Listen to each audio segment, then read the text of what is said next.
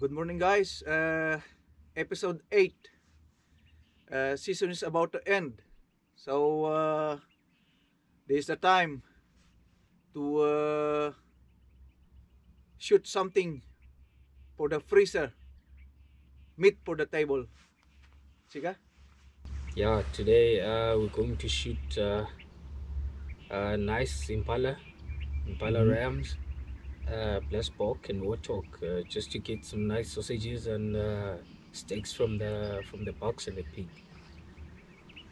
Uh, weather is not uh, not really nice. It's uh, overcast, and uh, this is going to be a challenge.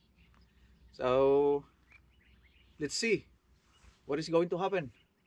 Okay, guys, let's go. Ah, diyan kami magsisimula ang ano. Ah, diyan ang simula ng aming atake pag ganun.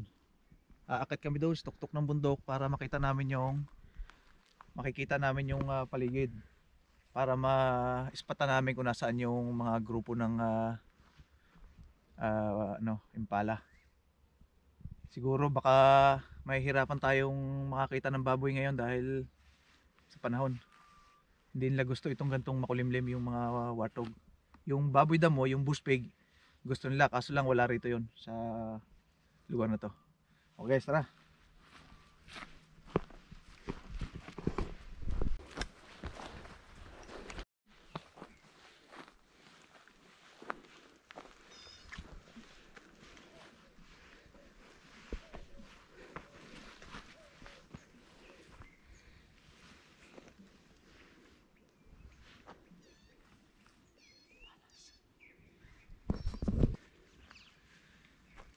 Guys, may impala rito sa Tiundam. So, bukan natin.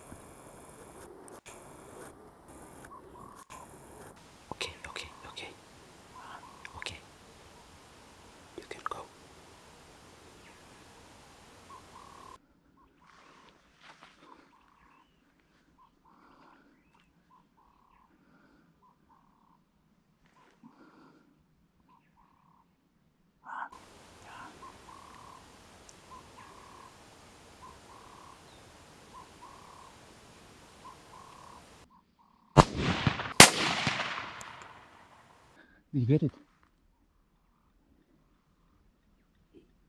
It was on, but I'm, I'm not sure now because it's a bit blood, but it's down. Guys, bagsak. Ah. Okay guys, tara. Ah, puntahan natin yung ah, impala. I think the warthogs are still here, uh, Rensika. Mm. The diggings. Guys, ito yung dam dati na pinagbabaril namin ng ah, baboy. Ayan, tuyo na, ano na, tuyo na. Kaya hindi na masyadong pumupunta yung mga baboy. Ngayon yung mga impala nandito ngayon.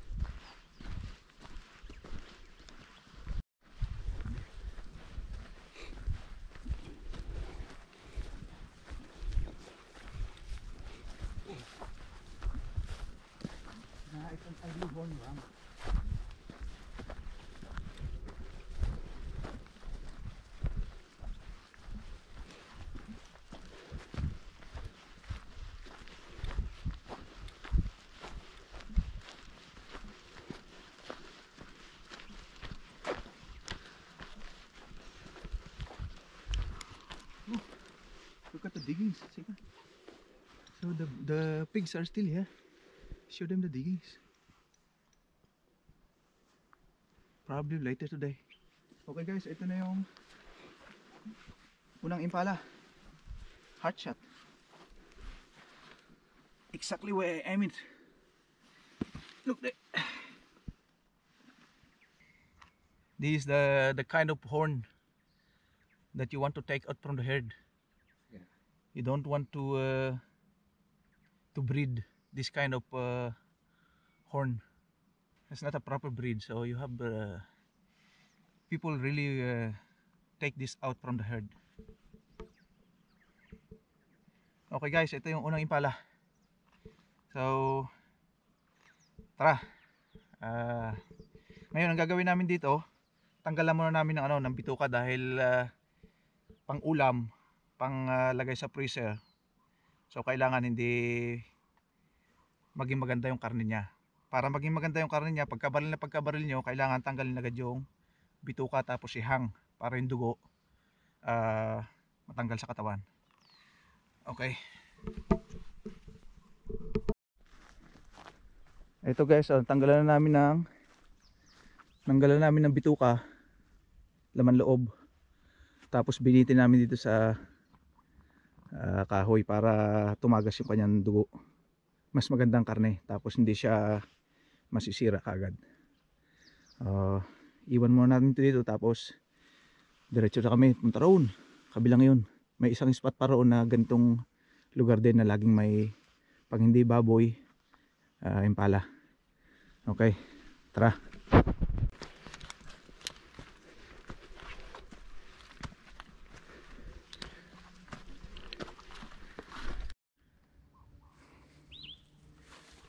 Guys um, mga ka-hunter dito na kami sa ibaba sa taas ang sitwasyon ganyan siguro nasa elevated kami ng mga 100 met- meters. Ngayon kitang kita mo yung ibaba yung kabilang bundok na yun. Kaya kung mayroong hayop doon kitang kita mo na agad siya. Ayun meron doon isang grupo ng impala ulit pero nasa mga ah, ano pa siguro sa mga isang kilometro mahigit ang layo. Ayun sika there's a ramp. Nice ramp.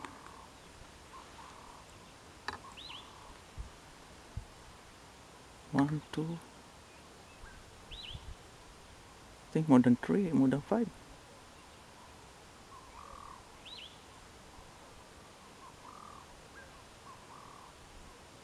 there's another one that uh, was standing still. That one there. One.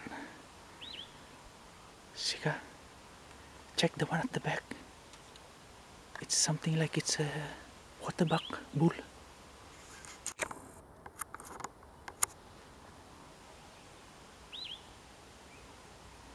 Uh, uh, no, it's a. It's the thorn.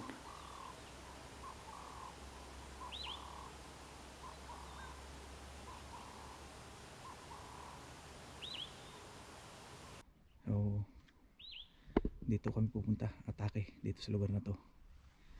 Para malapitan namin ng at least mga 200 to 300 meters.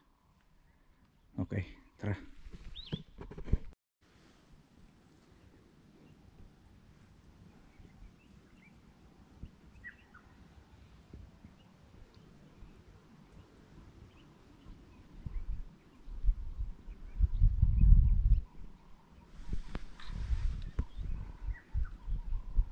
Guys yung pangalawang grupo ng impala tumakbo medyo na naispatan na tayo okay guys babaan tayo walang lumabas dito sa spot na ito may isang may dalawang impala kanina kaya lang mga babae Oh, hindi namin binaril. So, pababa na tayo. Punta tayo roon sa pangalawang bundok na yan.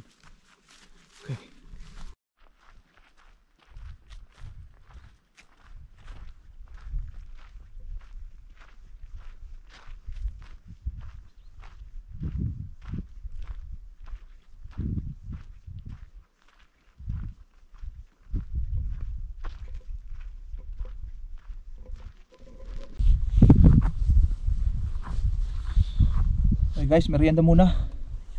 Kakaisa pa lang kami. So, malayo-layo na rin yung aming nalakad. Pagkatapos namin mabaril yung ah, unang impala. Alas 10.30. Abot na ng gutom. Tinapay muna. Sige.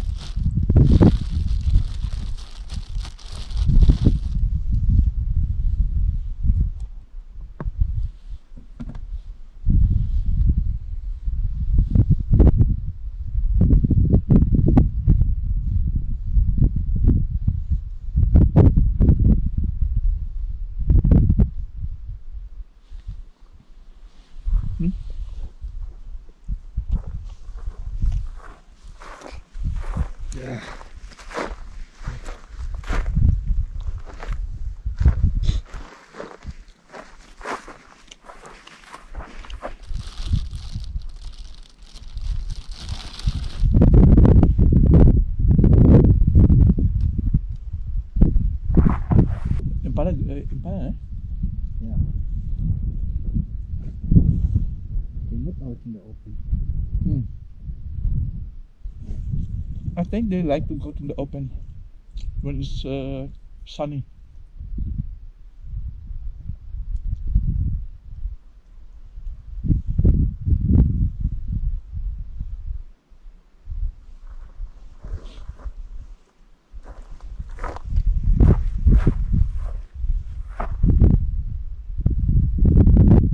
What's the stop? I don't. I'm not hungry yet, but I would love to eat now before we go with them.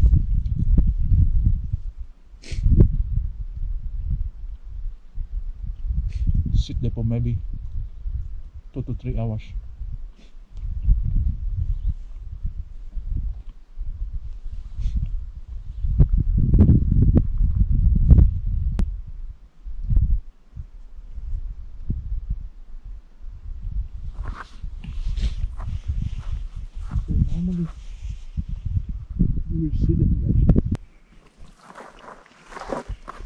Okay guys, ah.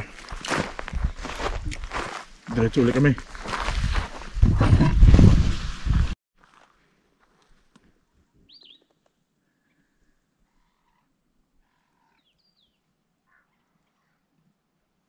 Okay guys, nandito kami ngayon sa ano sa inuman ng mga baka. Pero walang baboy. Ayun, dahil baka, tatakbuhan.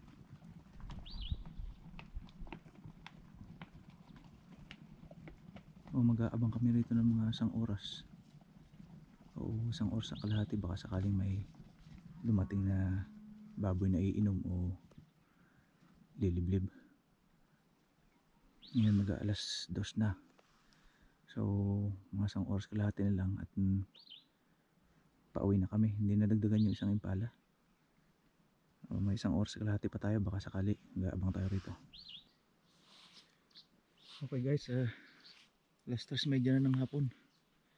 So walang dumating na baboy para uminom. Ah, ano na, balik na kami sa sasakyan. Isa lang yung nabaril nating impala. So mangyayari, paghahatian lang namin ni Ensi kayo sa impala. Okay na yun. Ah, malaki-laking ah, tagal-tagal na pang ulam yun. Water. Yeah, check, check in the bag. You, you can use The Coca-Cola. Coca-Cola bottle.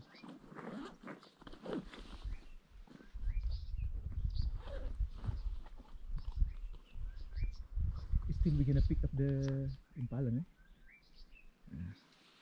Tapos pipick upin pa namin yung isang impala. So ano na, ah, paawabalik na kami sa bakit dahil baka mamaya abuti na naman kami ng dilim. Okay, ah, update namin kayo mamaya.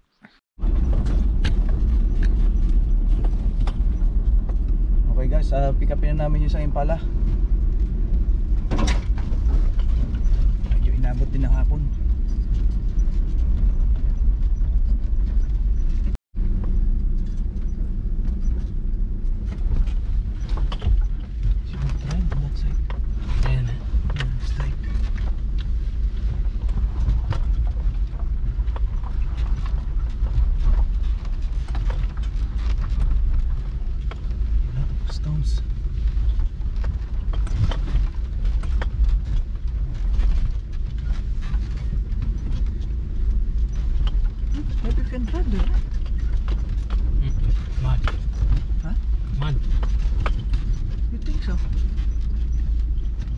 Think it's dry.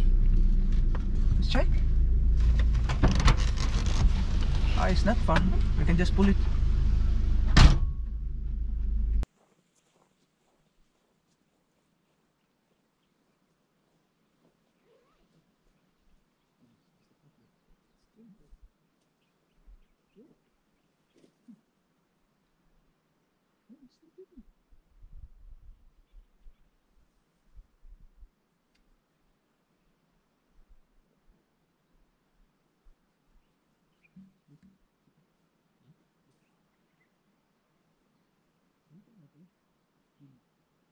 It's a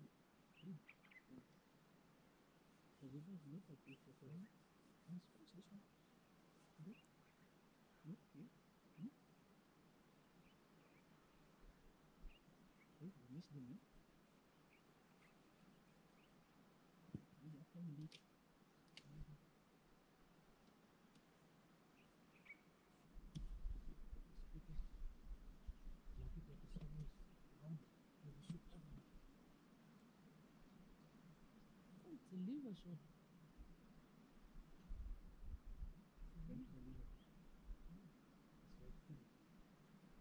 Lieber schon.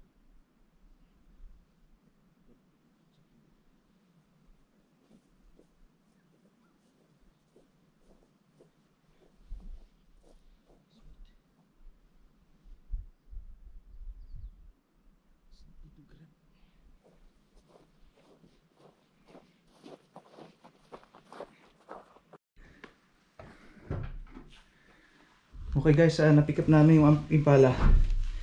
Ito siya, hindi kalakihan. Pero okay na, pagkatian namin yung chika. Ah, daming naka ano. Marami kami nakita pero hindi na baril. Dahil minsan hindi lahat na nakikita mo yung mga baril mo kaya siguro next time medyo malas-malas ngayon. Okay, ah dito na namin tinatapos ang episode na ito at uh, sana ay nagustuhan nyo. Sa mga hindi pa po nakakapag-subscribe, please uh, share, like, and subscribe. Marami po salamat.